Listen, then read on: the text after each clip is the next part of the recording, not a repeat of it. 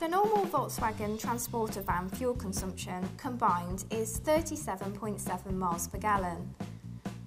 We tested out the Volkswagen Transporter Blue Motion to compare the difference. Blue Motion technology is made up of elements that make a significant reduction in fuel consumption and CO2, keeping more money in your pockets.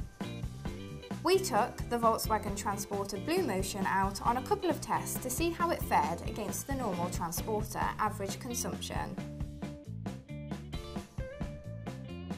Firstly, we took the Transporter 10 miles around the city. The Blue Motion technology, featured in the Blue Motion model, has a start-stop system, meaning you can save fuel when you're stopped at traffic lights, when taking the van out of gear and releasing the clutch. We spent 4 minutes and 59 seconds stuck at traffic lights and our average miles per gallon around the city was 41.6. For the second test, we took the van on a 10 mile trip on the motorway. The cruise control featured as a part of the Blue Motion technology is a great feature here.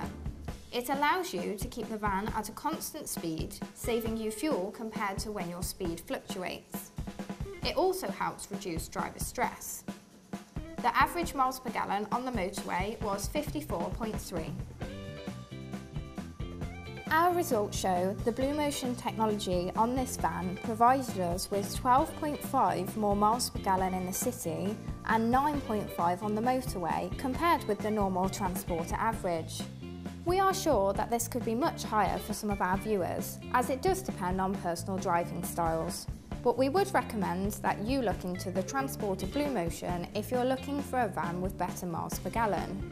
And remember, you can get a van insurance quote with us at constructaquote.com.